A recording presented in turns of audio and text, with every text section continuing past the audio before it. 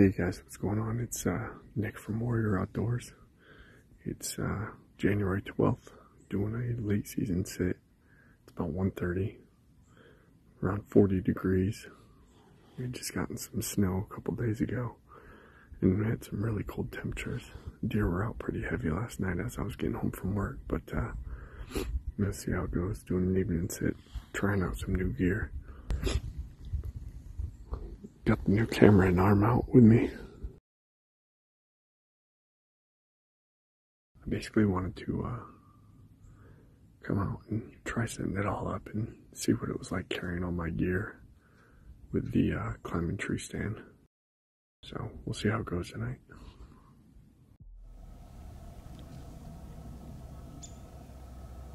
Here I'm just giving the layout of uh, where we're setting up.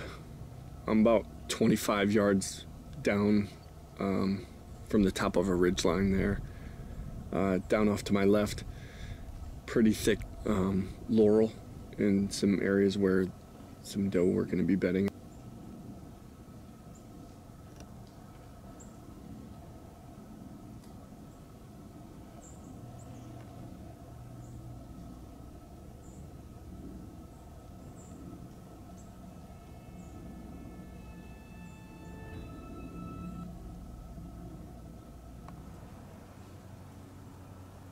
Within about five minutes, I had this fox show up.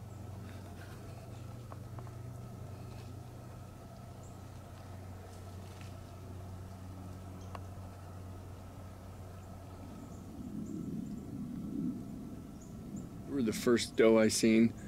Initially, I only seen two. Uh, come to find out later when they started to move, there was one down farther.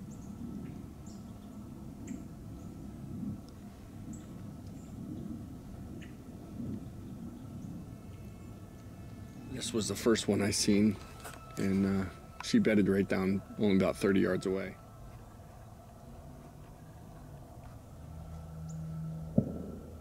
This was them getting up and heading uh, away from the bedding area. That was uh, the second doe.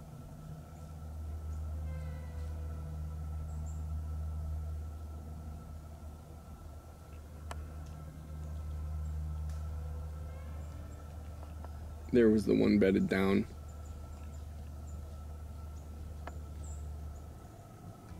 Here's a doe.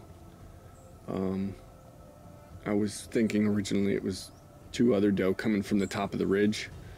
Um, as I noticed, there was a, a, buck behind her.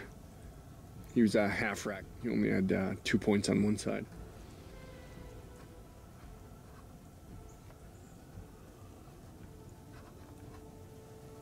Here he is.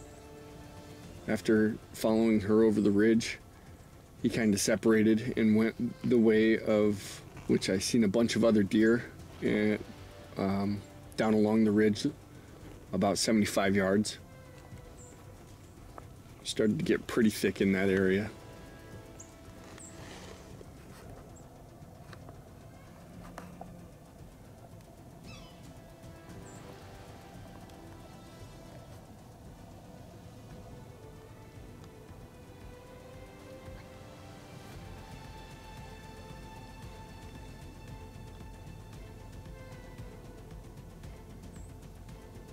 And here is a convoy of eight deer, uh, two of which were just nub spikes.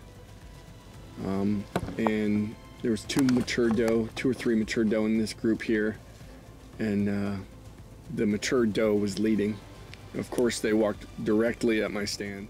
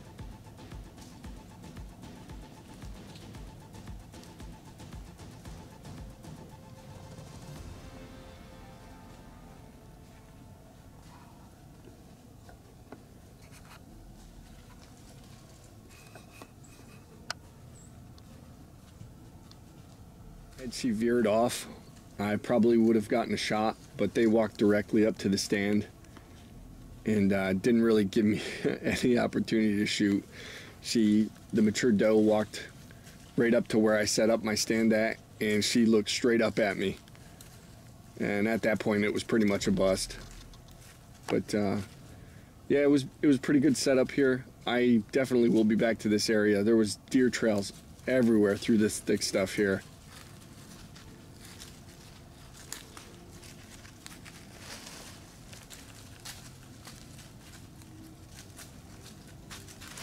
Um, I definitely am going to set up down the ridge uh, to the direction I was looking, probably closer to where I was seeing more activity of a lot of deer going into the um, the valley below there.